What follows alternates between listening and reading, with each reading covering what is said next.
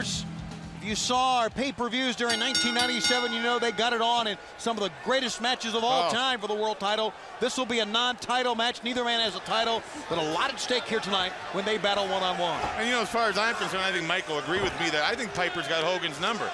And I think Hogan's going to try to show everybody tonight that Piper doesn't have his number. He's going to go all out to show Piper what it's like to be in the ring with Hogan and vice versa. Because, you know, pay-per-view, millions and millions of people all over the world watch. Same thing tonight, and Piper doesn't want to lose to Hogan. You know, Piper has quite a winning streak against Hollywood Hogan thanks to the sleeper hold, and you know that Hogan wants to do everything to show the other NWOites that he can turn the tide and have success against Piper right here on Nitro this evening. Well, like Harry would say, holy cow. He certainly would, I tell you. Kaz Hayashi and Chavo Guerrero Jr. well documented the problems, the family problems that Chavo Jr. has had, and it's great to see him out here without Eddie Guerrero around. Certainly as scientific a wrestler and as fine a young man as you'll find in our sport in Chavo Jr. And uh, he's very aggressive, but the man plays by the rules, guys. And look at that European uppercut. Yeah, and speaking of playing by the rules, the one thing you can say about Chavo Guerrero Jr. is that he is a man of his word. There was a stipulation when he had that match with his uncle Eddie. Yes, he lost in a hard-fought battle, but he has certainly proved from that point on to at least stick to that stipulation. Here's the cover. One, two, got a two count, says Charles Robinson, and that's all. And look at the face, the determination. And I know there's a lot of pain, that face mask, as far as what's going on. Certainly, Eddie Guerrero, his uncle, has turned his back on his family. And because of a little impromptu uh, wager that they had during a match on Thunder, the two men, uh, Eddie and Chavo, went in the ring. Chavo lost the match, and Chavo has to do whatever Eddie says. The good news for Chavo Jr. is Eddie's not here this week. Well, you know, that's Guerrero's fault.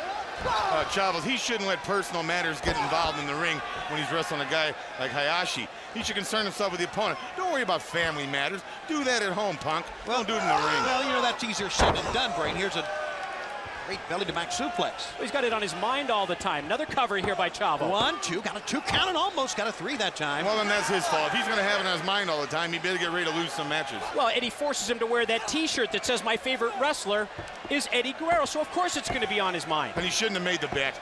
Stay home under the bed and read the books. You really like Eddie, don't you?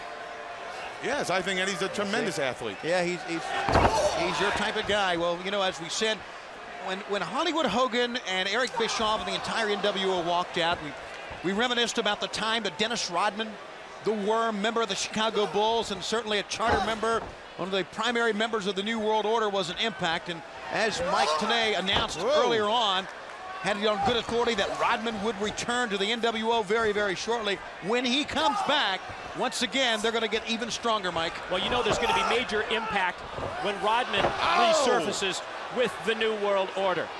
How about that maneuver? And a great block that time, kind of, by Hayashi. He's up on top, and Chavo Jr. is standing, and Chavo could not fend off that missile drop kick from the top turnbuckle, guys. Missile drop kick by Hayashi, and we understand that Ultimo Dragon, a countryman of Kaz Hayashi, is sort of taking him under his wing. Mr. Lariat Hayashi, he's one, two, German No. suplex, didn't get him.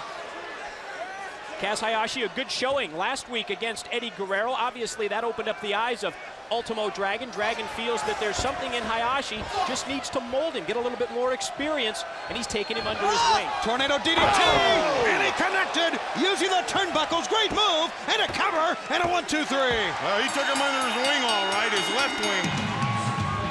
And a Chavo Jr. gets a big win, scientifically dismantled Kaz Hayashi.